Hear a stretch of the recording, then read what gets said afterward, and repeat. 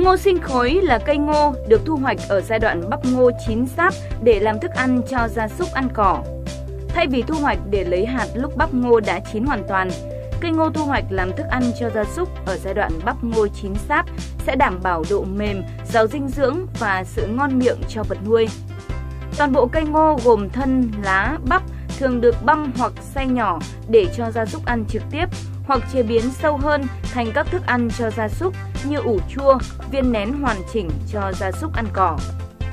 Theo phân tích của các nhà khoa học, ngô sinh khối là thức ăn thô xanh đứng thứ hai về hàm lượng dinh dưỡng trong số các nhóm cỏ được nghiên cứu. Đặc biệt, ngô sinh khối có hàm lượng vật chất khô rất cao, từ 28 đến 35%, đứng đầu trong số các loại cỏ dành cho thức ăn chăn nuôi. Hiện nay, các doanh nghiệp chăn nuôi bò sữa, bò thịt cũng đang sử dụng ngô sinh khối làm thức ăn thô xanh chính với yêu cầu hàm lượng vật chất khô chấp nhận được xoay quanh từ 30 đến 31%. Bên cạnh đó, nghiên cứu cũng cho thấy ngô sinh khối có chỉ số như chất xơ không hòa tan trong axit là 25%, chỉ số NDF chất xơ không tan trong dung dịch trung tính là 43%. Hàm lượng protein thô trên 8%. Như vậy là đều ở mức phù hợp đối với thức ăn thô dành cho gia súc ăn. Ngô cũng được đánh giá là có nhiều ưu điểm so với các loại cỏ khác như năng suất khá cao từ 45 đến 50 tấn trên 1 hecta một lứa.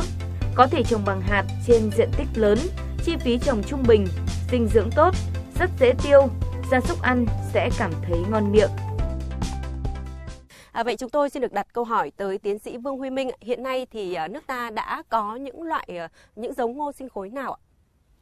Tức là những cái giống ngô về sử dụng làm sinh khối thì ngoài là, là những cái giống ngô thông thường hiện nay bà con vẫn đang trồng tức là có thể sử dụng các giống ngô hiện có hiện nay à, với các cái điều kiện chỉ tiêu như ta vừa nói ở trên thứ nhất là có khả năng sinh trưởng phát triển tốt tức là cái sức chữa cái cái cái khả năng cho năng suất cao phải sinh khối thứ hai là khả năng kết hạt phải tốt à, thứ ba là khả năng thích ứng phải rộng để mình trồng được nhiều thời vụ khác nhau trong năm. Thứ tư nữa là phải có khả năng ờ, chống đổ bởi vì nó liên quan đến một cái vấn đề rất là quan trọng trong cái phát triển à, ngô sinh khối. Đấy là cơ giới sử dụng cơ giới trong quá trình à, thu hoạch. Và một điều rất quan trọng nữa đấy là cái khả năng chống chịu với sâu bệnh. Bởi vì đây là cái ờ, cái ngô để chế biến làm thức ăn uh, cho gia súc. Do vậy mà nếu mà mà cái khả năng chống chịu sâu bệnh mà không tốt thì nó sẽ ảnh hưởng rất lớn đến cái chất lượng thức ăn. Trong sản xuất hiện nay của chúng ta là có rất nhiều giống ngô đang đang phục vụ sản xuất để ngô là chủ yếu là lấy hạt.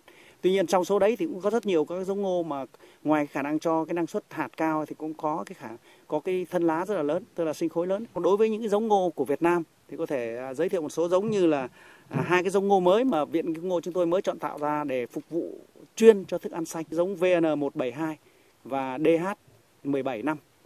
À, ngoài ra thì có thể sử dụng một số giống ngô lấy hạt nhưng có cái khả năng sinh trưởng phát triển tốt mà có thể làm sinh khối để làm giống ngô LCH9, giống ngô VN5885. Dạ vâng, như vậy là tiến sĩ Vương Huy Minh cũng vừa kể tên ra được rất là nhiều những giống ngô mà bà con có thể là vừa trồng lấy hạt nhưng cũng có thể uh, trồng để lấy sinh khối um, luôn. Vậy thì chắc hẳn là ở trong chương trình của chúng ta ngày hôm nay cũng có rất là nhiều quý vị và bà con đang băn khoăn không biết là khi mà chúng ta trồng giống ngô sinh khối thì cần phải lưu ý gì à, và mật độ trồng có khác so với việc là trồng ngô lấy hạt hay không? Thì với câu hỏi này chúng tôi xin được chuyển tới thạc sĩ Hoàng Văn Hồng. Xin mời thạc sĩ khi chúng ta trồng ngô sinh khối thì chúng ta cần lưu ý mấy cái việc như sau. Thứ nhất là về mật độ trồng thì bà con nên trồng dày hơn, cần trồng dày hơn so với ngô lấy hạt. Trước đây chúng ta đang trồng ở cái khoảng cách hàng cách hàng là 70 cm và cây cách cây là 25 cm, tức là tương đương khoảng 5,5 vạn cây một trên một hecta, tức là khoảng 2.000 cây một xào. Thì bây giờ chúng ta trồng dày hơn là ở khoảng cách hàng cách hàng là 65 cm, cây cách cây là 20 cm tức là tương đương khoảng 7,2 đến 7,5 vạn cây trên một hecta hoặc là khoảng 2.400 cây trên một sào. Thứ hai là khi chúng ta trồng thì cái kỹ thuật trồng chúng ta là chỗ hốc thì chúng ta gieo một hạt, hốc gieo hai hạt.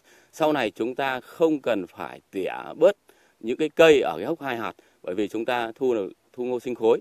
Bón phân thì chúng ta phải bón tăng lên khoảng 20% lượng phân bón so với trồng ngô lấy hạt bởi vì tổng lượng ngô sinh khối chúng ta thu nó cao gấp khoảng 1,4 đến 1,5 lần so với cái ngô thông thường. tức là bón khoảng 12 kg UD, 20 cân superlân và 6 cân kali. Đấy thì các cái lần bón thì cũng bón tăng tương tự. Chúng ta không phun thuốc trừ sâu từ khi cây ngô bắt đầu chỗ cờ trở đi để cái sản phẩm ngô sinh khối của chúng ta à, thu làm thức ăn cho châu bò thì nó không bị nhiễm thuốc bảo vệ thực vật. Cái thời gian thu hoạch của ngô sinh khối là ngắn hơn so với ngô lấy hạt của chúng ta khoảng 30 ngày. Chính vì vậy, trong một năm, nếu như đất bãi mà không bị ngập nước, thì bà con có thể tăng được thêm một vụ sản xuất ngô sinh khối nữa. Dạ vâng, xin được cảm ơn những chia sẻ vừa rồi của thạc sĩ Hoàng Văn Hồng. À, vậy thì không biết rằng là có quý vị bà con nào ở đây còn những cái băn khoăn, những cái vướng mắc à, liên quan đến việc trồng ngô sinh khối thì ngay bây giờ có thể à, hỏi à, đặt câu hỏi đến các chuyên gia của chúng tôi ạ. Xin mời à, quý vị bà con ạ. Ai có câu hỏi thì có thể giơ tay lên ạ. Xin mời à, bác à, áo trắng xanh có câu hỏi không ạ? Vâng, xin uh, chào tất cả các uh, quý vị đại biểu, chào toàn thể bà con. Tôi uh, tên là Trần Ngọc Quý, ở Nhật Chiêu một xã Liên Châu. À, với uh, số với ngô mà mà mà sinh khối thì nó sẽ cái năng suất nó sẽ đạt được hơn mấy ngô bình thường của của của những người dân ngày xưa trước làm nhiều hay, hay ít ạ. Dạ vâng, với câu hỏi này chúng tôi uh, có thể gửi đến thạc sĩ Hoàng Văn Hồng ạ. Đối với các cái đồng đất bình thường thì chúng ta trung bình khoảng 45 tấn trên một hecta. Còn nếu thâm canh tốt có thể đạt 60 tấn trên một hecta, thậm chí như giống ngô VN172 ở Viện Nghiên cứu cứu ngô mà tiến sĩ Vương Huy Minh vừa nêu có thể đạt được đến 70 tấn trên một hecta. Nếu chúng ta sản xuất ngô hạt trung bình một hecta chúng ta thu được 5 tấn thì thu được khoảng 30 triệu. Nếu như chúng ta sản xuất ngô sinh khối ờ, 50 tấn một hecta thì chúng ta có thể thu được khoảng 40 triệu. Thì cái chi phí của ngô sinh khối thì tăng hơn khoảng 20% về giống và phân bón. Tuy nhiên như lại bù lại là bà con trồng ngô sinh khối chúng ta không mất cái công đi thu hoạch ngô, không mất công phơi và tẽ ngô. Chính vì vậy cái chi phí này có thể ờ, bù cho nhau là hòa. Vì vậy mà cái sản xuất ngô sinh khối của bà con sẽ có lãi cao hơn so với sản xuất ngô hạt. Vâng, xin được cảm ơn câu trả lời vừa rồi của thạc sĩ Hoàng Văn Hồng. Xin được cảm ơn những câu hỏi của ờ, quý vị và bà con đã gửi về. Và thưa quý vị, thưa bà con, cũng liên quan tới vấn đề này, tổng đài của chương trình của chúng tôi đã nhận được câu hỏi đến từ khán giả Võ Văn Bách với số điện thoại là 0979 3 số cuối 797 có hỏi như sau. Xin hỏi các chuyên gia là trồng ngô sinh khối thì nên thu hoạch vào thời điểm nào sẽ là hợp lý nhất ạ? À, với câu hỏi này chúng tôi xin mời thạc tiến sĩ Vương Huy Minh có thể trả lời ạ ngô sinh khối thì ngoài những cái chuyện mà ngoài cái điều kiện là chúng ta phải có cái ờ, thu hoạch vào cái lúc mà có cái sinh khối lớn nhất. Và nhưng mà nó cũng liên quan đến vấn đề nữa đấy là cái cái cái cái chất lượng chất lượng thức ăn. Do vậy mà à, theo cái tiêu chuẩn ngô sinh khối mà ở đây nó áp dụng trên ờ, toàn toàn cầu toàn thế giới chứ không riêng gì ở Việt Nam thu hoạch cái ngô sinh khối đấy là vào thời điểm chín sáp của ngô. À, đây à, giới thiệu với bà con là đây là một cái bắp ngô mà ở giai đoạn này là sau khi thụ phấn được khoảng 2 tuần hơn khoảng à, gần 20 ngày.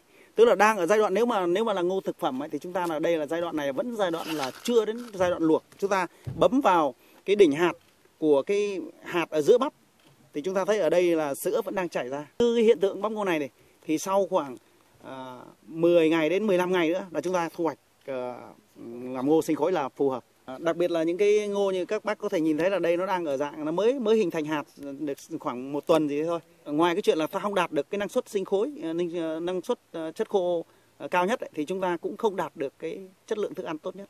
Còn các bác cũng có thể quan sát là cái lá gốc tức là những cái một một đến hai cái lá gốc ở, ở, ở trên ruộng ngô của các bác đấy là nó đã chuyển sang cái màu màu vàng. Màu vàng ở đây là màu vàng do do già chứ không phải màu vàng do do sâu bệnh.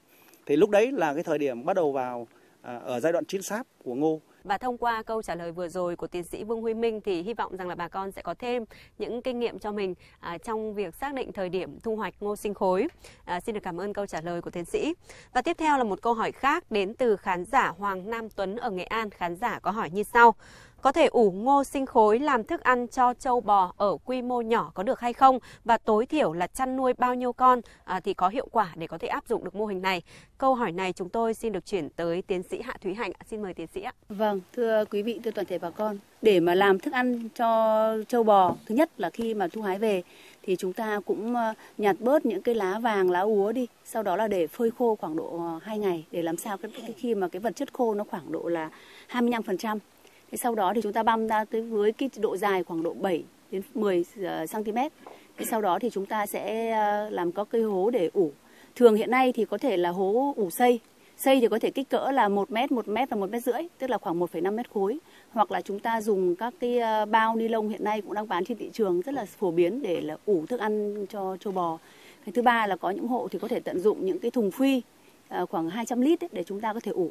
Thường là cái tỷ lệ là khoảng độ 100 À, kg cái à, thân cây ngô lấy về thì chúng ta có thể ủ với cả là 5 à, ừ, kg dỉ mật trộn với nước và 5 kg bột cám và khoảng 0,5 kg muối ăn.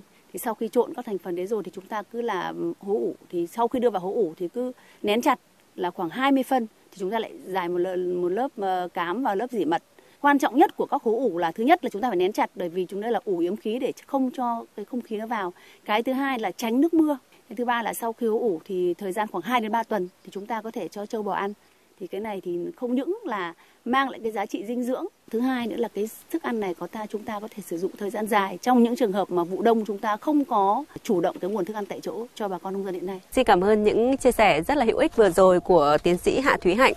Vâng thưa quý vị, thưa bà con, trong chiến lược phát triển chăn nuôi của Việt Nam, chăn nuôi đại gia súc luôn được ưu tiên. Sản phẩm sữa của Việt Nam đã xuất khẩu sang nhiều nước.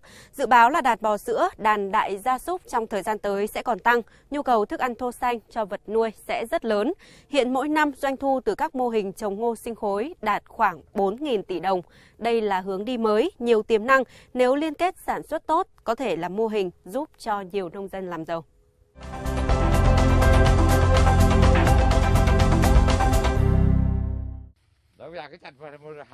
Gia đình ông Hoàng Xuân Mẹo có truyền thống trồng cây ngô từ 10 năm nay. Trước kia ông chỉ chuyên trồng ngô lấy hạt. Nhưng kể từ khi chuyển sang trồng ngô sinh khối trên diện tích 4 xảo ruộng, ông đã nhận thấy những lợi ích khác biệt. Nó không có nhiều cung đoạn như cái ngô lấy hạt. Cái ngô lấy hạt là mình về là mình phải để, để đến ngô già. Ngô già xong là mình lại phải đẵn cây, bẻ bắp, về bóc, vẽ, phơi là tức là nó mất nhiều cái cung đoạn hơn nhưng mình lấy cái ngô, bán cái ngô cây xanh này thì là thực sự ra là nó nhàn hơn. Ngô kia là phải để khoảng độ 4 tháng mới thu hoạch được. Thế nhưng mà ngô này chỉ phải thời gian khoảng độ 3 tháng là có thể là thu hoạch được. Ví dụ như là bây giờ là như là mình à, mà lấy ngô để chín, già, tức là già chín để như là thu hoạch, lấy hạt, thì nó quãng độ tầm độ hai tạ. Trung bình là như là quãng độ hai tạ trên một xào. Thì nhân với giá 7 nghìn thì nó quãng triệu tư. Thế nhưng mà khi mà mình mà trồng ngô sinh khối mà mình Ờ, bán cho công ty thì là như là nó sẽ được tầm quãng độ như là triệu uh, rưỡi đến triệu tám Vĩnh Phúc là tỉnh có diện tích sản xuất ngô lớn ở miền Bắc, sản xuất ngô cả ba vụ chính trong năm là vụ xuân, vụ hè và vụ đông. Trong đó, diện tích ngô vụ đông chiếm khoảng 50% tổng diện tích sản xuất trong năm, chủ yếu là ngô lấy hạt. Từ khi chuyển đổi sang trồng ngô sinh khối, hiệu quả kinh tế bà con thu lại cao hơn gấp bội lần cái thời gian sinh trưởng nó ngắn nó rút ngắn được ít nhất là một tháng. Ngô lấy hạt chẳng hạn như cái vụ này là phải cỡ 120 ngày trở lên. Thì ngô sinh khối là chỉ cần 75 80 ngày rồi. Thế là nó được một tháng thì nó giảm được rất nhiều công sức này. Theo Bộ Nông nghiệp và Phát triển Nông thôn, các tỉnh phía Bắc có một vụ đông kéo dài trên 3 tháng, đủ để sản xuất một vụ ngô rất thuận lợi. Nhưng thường trong vụ đông, đất lại bỏ hoang, vì vậy, việc đẩy mạnh phát triển ngô sinh khối, đặc biệt là tận dụng quỹ đất lúa nhàn rỗi rất lớn trong vụ đông tại các tỉnh phía Bắc hiện nay có ý nghĩa rất lớn cho ngành trồng trọt. Ngô sinh khối là một cái ờ, cây trồng mà rất phù hợp với cơ cấu vụ đông. Tức là thời gian thì ờ, nó ngắn, chỉ độ 75 ngày là thu rồi. Thứ hai là cũng là thời tiết khí hậu vụ đông nó phù hợp với lại các cái đối tượng là ngô sinh khối này. Đấy, cho nên là tôi ờ, hiện nay thì nhiều địa phương cũng đã tập trung phát triển ờ, và cho cái diện tích tương đối tập trung và cũng cho là thu nhập ờ, ờ, cao đối cho người nông dân. Cây ngô sinh khối về bản chất vẫn giống như các giống ngô thông thường, nhưng được thu hoạch vào giai đoạn ngô chín sáp. Lúc này, cây ngô xanh có dưỡng chất đầy đủ và cao nhất, nên khi trâu, bò thịt hoặc bò sữa ăn thức ăn này sẽ cho chất lượng thịt sữa tốt nhất. Vâng thưa quý vị, thưa bà con, rõ ràng là trong điều kiện miền Bắc hiện nay có một vụ đông kéo dài trên 3 tháng có thể đủ để cho chúng ta sản xuất một vụ ngô rất thuận lợi. Thế nhưng vụ đông đất lại bỏ hoang. Đồng thời thì một số doanh nghiệp chăn nuôi đang có nhu cầu vùng nguyên liệu làm thức ăn cho chăn nuôi bò sữa, bò thịt cũng rất là lớn, nhưng việc tổ chức sản xuất thu mua thì lại gặp nhiều khó khăn. À, việc mở rộng các mô hình trồng ngô sinh khối từ đó mà đã trở nên triển vọng hơn bao giờ hết. Tuy nhiên nhiều bà con nông dân vẫn thắc mắc rằng liệu trồng ngô sinh khối thì có được nhà nước hỗ trợ giống và phân bón hay không? Với thắc mắc này chúng tôi xin được mời thạc sĩ Hoàng Văn Hồng sẽ tiếp tục giải đáp cho quý vị bà con ạ. Để sản xuất ngô sinh khối mà được hỗ trợ thì nó có hai cái nguồn. Một là bà con được chọn tham gia dự án khuyến nông trung ương ở một số tỉnh mà Bộ Nông nghiệp Phát triển Nông thôn dự kiến đặt hàng sản xuất.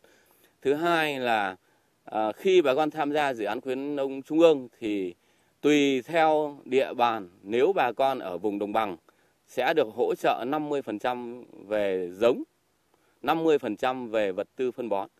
Đối với bà con ở những vùng miền núi thì được hỗ trợ tương ứng là 70%.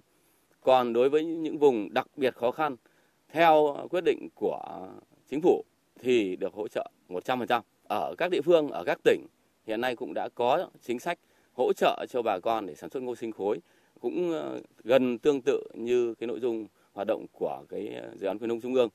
Dạ vâng, xin được cảm ơn Thạc sĩ Hoàng Văn Hồng và chúng tôi cũng xin được giải đáp một câu hỏi với nội dung ờ, đến từ chị Đỗ Thị Hiếu ở Vĩnh Phúc có hỏi như sau. Tôi muốn gom khoảng 20 hecta ruộng để sản xuất ngô sinh khối. Xin được hỏi là có được hỗ trợ gì không? Và xin uh, uh, các chuyên gia của chương trình có thể tư vấn cách làm hiệu quả. Và với uh, câu hỏi này là một người dân trên địa bàn của tỉnh Vĩnh Phúc chúng ta, uh, thì chúng tôi xin được mời Thạc sĩ Nguyễn Hoàng Dương là Giám đốc Trung tâm Khuyến nông Vĩnh Phúc sẽ giải đáp thắc mắc này ạ. Hội đồng nhân tỉnh Vĩnh Phúc thì đã ban hành cái nghị quyết à, uh, 201 về à, một số cái nội dung thực hiện tái cơ cấu ngành nông nghiệp À, trong đó thì có nội dung là hỗ trợ cho các cái tổ chức cá nhân để gom ruộng sản xuất ờ, trồng trọt. Thì cái điều kiện được hỗ trợ thì phải đảm bảo có hai điều kiện sau. Cái thứ nhất là chúng ta cần phải gom được cái diện tích là từ 2 hecta trở lên đối với vùng miền núi và 3 hecta trở lên đối với vùng đồng bằng. Và cái điều kiện thứ hai đó là chúng ta phải có cái hợp đồng thuê đất hay là hợp đồng mua bán đất và phải thể hiện cái thời gian là chúng ta thuê đất đấy là phải từ tối thiểu từ 10 năm trở lên thì bà con sẽ được hỗ trợ là 5 triệu trên một hecta trên một năm và được hỗ trợ là 5 năm liên tiếp. Dạ vâng, xin được cảm ơn những giải đáp vừa rồi của Thạc sĩ Nguyễn Hoàng Dương. À, và tiếp theo chương trình, chúng tôi xin được mời tiến sĩ Đinh Công Chính trả lời cho câu hỏi của khán giả Hoàng Văn Tiếp ở Quảng Ninh với nội dung như sau ạ. Ở chân đất vàn và vàn cao, việc chuyển đổi cơ cấu cây trồng sang trồng ngô sinh khối như thế nào để có thể đạt hiệu quả cao nhất ạ? Khi mà sản xuất mà ngô ờ, sinh khối ấy, thì ta phải tuân thủ triệt để cái quy trình kỹ thuật tức là từ giống hai là các biện pháp kỹ thuật canh tác ba là bảo vệ thực vật và bốn là thu hoạch sơ chế chế biến và bảo quản. Năm 2016 thì ờ, chính phủ cũng đã có cái quyết định 915 là à, hỗ trợ kinh phí để phục vụ mục đích chuyển đổi cho các cái vùng sinh thái trong đó thì có cái vùng có cái vùng đồng bằng sông Hồng của chúng ta ở đây thì đến thời điểm này cái quyết định đấy nó không còn hiệu lực nữa. Tuy nhiên ấy, thì nhiều địa phương hưởng thực hiện căn cứ quyết định đấy thì ban hành các cái cơ chế chính sách hỗ trợ cho việc chuyển đổi nó dài nó dài hơn cái nội dung hỗ trợ định mức hỗ trợ thì tối thiểu các địa phương đều ban hành là tối thiểu là theo cái định mức của cái quy định 915 năm 2016 mà Thủ tướng Chính phủ đã ban ban hành. Bà con có thể là liên hệ trực tiếp với À, sở nông nghiệp phát triển nông thôn của nơi sở tại để liên hệ xem các cái cơ chính sách cụ thể của địa phương để chúng ta có cái căn cứ áp dụng và làm cái căn cứ để đề nghị xem xét hỗ trợ theo cái quy định hiện hành. Chúng tôi cũng muốn hỏi thêm một câu hỏi à, là trong trường hợp mà địa phương xây dựng được vùng trồng ngô sinh khối với diện tích rộng và thời gian lâu dài thì nhà nước sẽ có những hỗ trợ như thế nào cho bà con nông dân? Xin mời tiến sĩ trả lời câu hỏi này. Một ấy, là cái nghị định số 02 của chính phủ ban hành à, năm 2017 về hỗ trợ à, sản xuất vùng bị thiên tai dịch bệnh. Có nghĩa là khi bà con mà tham gia vào sản xuất thì nếu bị thiệt hại do thiên tai dịch bệnh thì đều được hưởng cái cơ chế chính sách của nhà nước. Ví dụ như là với diện tích ngô mà bị thiệt hại từ à, 30 đến 70% thì sẽ được hỗ trợ là 1 triệu đồng trên một hecta. Trên 70% trở lên thì sẽ được hỗ trợ là 2 triệu đồng trên một hecta. Đấy là cái chính sách thứ nhất. Cái chính sách thứ hai là nằm ở trong cái nghị định số 98 2018 à, của chính phủ hỗ trợ kinh phí để liên kết sản xuất. Đầu tiên là xây xây dựng tư vấn. Cái thứ hai là à, hỗ trợ giống cơ sở hạ tầng. À, cái thứ ba là hỗ trợ các cái điều kiện tập huấn kỹ à, các cái quy trình kỹ thuật để thúc đẩy cái quá trình sản xuất à, nông nghiệp nói nói nói chung và ngô sinh khối nói riêng thì đều được hưởng các cơ cơ chính sách à, theo cái nghị nghị định 98 này. Ngoài ra thì còn có một các cái văn bản mà hỗ trợ riêng các cái chương trình khuyến nông mà như vừa rồi thì anh à, anh Hoàng Xuân Hồng của Trung tâm khuyến nông quốc gia cũng đã giải thích với bà con. Dạ vâng ạ, một lần nữa xin được cảm ơn ý kiến của tiến sĩ Đinh Công Chính. Thưa quý vị, thưa bà con, vụ đông năm 2020, các địa phương ở phía Bắc đã đăng ký sản xuất khoảng 114.000 hecta ngô, trong đó có ngô sinh khối để phục vụ cho ngành chăn nuôi. Ngô sinh khối được kỳ vọng sẽ tạo ra bước đột phá trong vụ đông năm 2020 nhằm khai thác quỹ đất nhàn rỗi trong vụ đông tại các tỉnh phía Bắc. Hiện nay rất nhiều doanh nghiệp chăn nuôi đang cần vùng nguyên liệu thức ăn để phục vụ à, hoạt động sản xuất. Do đó mà việc liên kết tiêu thụ giữa doanh nghiệp với người nông dân trong phát triển mô hình ngô sinh khối đã và đang đạt được những hiệu quả tích cực.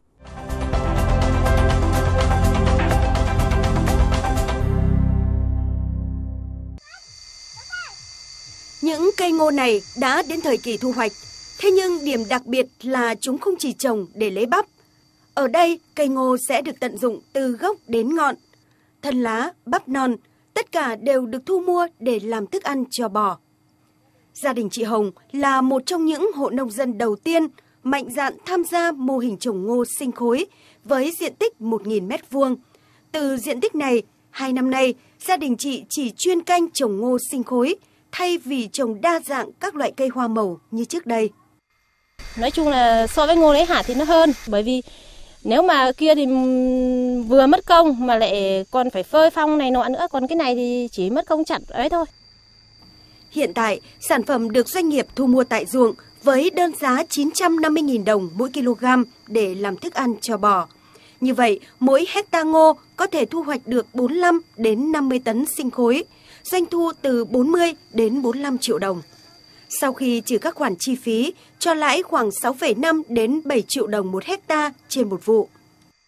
Công ty vẫn vào vận động bà con để trồng mà hỗ trợ giống và đầu tư phân giết cho bà con. Ai có nhà ai mà có nhu cầu ấy thì là đăng ký để họ hỗ trợ. Sau khi được thu hoạch, ngô sinh khối sẽ được công nhân của nhà máy đến tận ruộng để đưa về chế biến thức ăn. Từ đây, ngô sẽ được xay nhỏ, ủ men vi sinh trước khi đưa vào cho gia súc ăn. Tại trang trại này, số lượng bò lên đến 5.000 con, tương đương với lượng thức ăn tiêu thụ là 100 tấn thức ăn ngô sinh khối trên một ngày. Với kế hoạch tăng đàn bò thịt của doanh nghiệp này lên đến 12.000 con, nguồn thức ăn mỗi ngày sẽ lên đến từ 200 đến 300 tấn. Như vậy, nguồn nguyên liệu ngô sinh khối của người dân hiện nay mới chỉ đáp ứng được từ 30 đến 40% so với nhu cầu của doanh nghiệp này. Ờ, hiện tại thì chúng tôi có một cái đơn vị chuyên triển khai vào vùng nguyên liệu. Chúng tôi triển khai đến ờ, rộng khắp đến tất cả các cái thôn bản. Chúng tôi đến ờ, ký cam kết cũng như là là đưa trong cái cam kết đấy thì có thể hiện rõ trách nhiệm của các bên. Thì coi như cái cái cái cái, cái có một cái hợp đồng giữa giữa giữa giữa bà con dân và với doanh nghiệp thì cái đấy là một cái phát triển bền vững mà tất cả các doanh nghiệp đều hướng tới để hình thành một cái vùng nguyên liệu ổn định. Với mục tiêu xây dựng và hình thành được mô hình liên kết sản xuất theo chuỗi, Trung tâm khuyến nông tỉnh Quảng Ninh đã triển khai xây dựng hai mô hình mẫu trồng ngô sinh khối tại huyện Đầm Hà và Tiên Yên từ cuối tháng 8 năm 2016 bằng nguồn kinh phí của công ty trách nhiệm hữu hạn Phú Lâm. Đây là mô hình thuộc đề án chuyển đổi diện tích lúa hoa màu kém hiệu quả sang trồng ngô cao sản tại các huyện miền núi của tỉnh Quảng Ninh. Nông dân tham gia mô hình được tập huấn quy trình kỹ thuật, được hỗ trợ 100% giống và 50% phân bón và thuốc bảo vệ thực vật. À, và tiếp theo sẽ là một câu hỏi liên quan đến việc uh, thu gom mua ngô sinh khối thì chúng tôi xin được chuyển tới ông Lê Thanh Tuấn là giám đốc công ty trách nhiệm hữu hạn xây dựng và thương mại Minh Phát ạ. Câu hỏi đến từ khán giả Ngô Văn Châu ở Hà Nội với nội dung như sau. À, xin hỏi là tôi muốn làm người thu gom ngô sinh khối để bán cho các công ty thu mua thì có được hay không? Và hình thức hiện nay đang như thế nào ạ? Xin mời ông ạ. Thì uh, chúng tôi uh, sẽ um, đến tận nơi khi ông thu gom ở, ở tại địa phương mà ông có nhu cầu cùng, cùng, cùng người dân. Chúng tôi sẽ đến tận trực tiếp tận nơi để cùng với ông Châu và bà con để thu mua cô gom ra chỗ đầu bờ mà khi để cho đậu phương tiện ô tô và các phương tiện cơ giới để vào để có thể là thu mua và chuyển lên xe được. Hiện tại bây giờ doanh nghiệp chúng tôi đang thu mua ngay tại bờ thì với ở mức giá là từ 800 đến 850 đồng một kg. Hiện tại bây giờ bên ờ, doanh nghiệp chúng tôi là đang thu mua quanh năm. Ngày nào cũng thu mua chỉ trừ những cái ngày điều điều kiện thời tiết ừ, không ủng hộ thì chúng tôi không thu mua. Những cây ngô ngọt và cây ngô nếp sau khi ờ, bà con nông dân ta thu hoạch bắp ừ, để sử dụng làm thực phẩm rồi thì cái phần cây còn lại ờ, đơn vị chúng doanh nghiệp chúng tôi vẫn tiếp tục thu mua để làm thức ăn cho gia súc. À, và chúng tôi cũng xin muốn hỏi tiến sĩ Hạ Thúy Hạnh ạ. Xin hỏi là ừ, hiện nay có những công ty nào thu mua sinh khối cho bà con thì à, à, bà có thể cung cấp để bà con chúng ta có thêm những cái địa chỉ tin cậy để lựa chọn ạ? Thực tế thì ờ, hiện nay những cái ờ, bà con nông dân ở những cái vùng mà gần cái những cái trang trại chăn nuôi bò sữa tập trung thì hầu như là sản xuất ngô sinh khối rất là nhiều. Thì hầu như bà con tại đó không những là dùng Ờ, ngô sinh khối cho những cái đàn bò trong trong cái trại hộ nhà mình mà còn là để bán cho các cái doanh nghiệp nữa và cái việc đấy thì là rất là thuận lợi. Địa phương chúng ta thì ngoài cái công ty trách nhiệm hữu hạn xây dựng và thương mại Minh Phát thì như là lúc ờ, đại diện công ty đã nói có bao tiêu thu mua À, thì chúng tôi cũng giới thiệu thêm là cái công ty TNT 159 Hòa Bình cũng đã có cái bao tiêu sản phẩm cho nhân dân. Tuy nhiên thì chúng tôi cũng nghĩ này, ngoài cái việc mà chúng ta trồng ngô để mà Ờ, bán cho các doanh nghiệp thì cái quan trọng nữa là bà con chúng ta, những cái bán nhất là những hộ nuôi bò, chúng ta có thể sử dụng các cái chế phẩm sinh học để xử lý cái nguồn phân thải ra từ con bò để cung cấp lại cho các doanh nghiệp trồng ngô. Thì đấy là tạo thành một cái kinh tế gọi là kinh tế tuần hoàn ấy. Trung tâm khuyến nông quốc gia chúng tôi ban hành rất là nhiều những cái à, tài liệu tập huấn cũng như là các cái tờ rơi hướng dẫn và trực tiếp triển khai rất là nhiều các cái diễn đàn khuyến nông hoa cầu nông nghiệp. Thì bà con chúng ta có thể quan tâm và có thể tra cứu trên trang web khuyến nông hoặc là tư vấn từ bà con khuyến nông các địa phương để có thể hiểu biết hơn về ngô sinh khối trước khi chúng ta bắt tay vào trồng ngô sinh khối ở ở các địa phương cũng như ở các nông hộ. Dạ vâng, xin được cảm ơn những chia sẻ vừa rồi của tiến sĩ Hạ Thúy Hạnh. Thưa quý vị, theo nhận định của Cục Chăn nuôi thì hiện nay ngoài phục vụ cho nhu cầu chăn nuôi trong nước, một số doanh nghiệp cũng đã xuất khẩu ngô sinh khối, chế biến, đóng bánh sang các thị trường như Nhật Bản, Hàn Quốc hay các nước Trung Đông. Vì vậy, việc đẩy mạnh phát triển ngô sinh khối còn có triển vọng trở thành một ngành hàng xuất khẩu có giá trị và lợi thế của nước ta. Việc phát triển ngô sinh khối theo đó cũng không đơn thuần chỉ chú trọng vào sản lượng, năng suất, chất thô xanh nữa, mà quan trọng hơn là cần có các giống ngô sinh khối có tỷ lệ vật chất khô cao, có hàm lượng và các chất dinh dưỡng cũng như các yếu tố tổng thể phù hợp với nhu cầu của thức ăn dành cho gia súc ăn cỏ cùng với công nghệ chế biến hiện đại. Và tới đây thì chương trình tọa đàm về ngô sinh khối của chúng tôi cũng xin được tạm dừng tại đây. Cảm ơn các vị khách mời đã có mặt trong chương trình của chúng tôi và đã có những chia sẻ rất hữu ích cho bà con nông dân. Và nếu như bà con có bất cứ thắc mắc nào, có thể liên hệ tới tổng đài 1900 6145 của kênh VTC 16 để được các chuyên gia của chương trình tư vấn và giải đáp. Một lần nữa xin được cảm ơn tất cả các quý vị và bà con đã có mặt trong chương trình ngày hôm nay.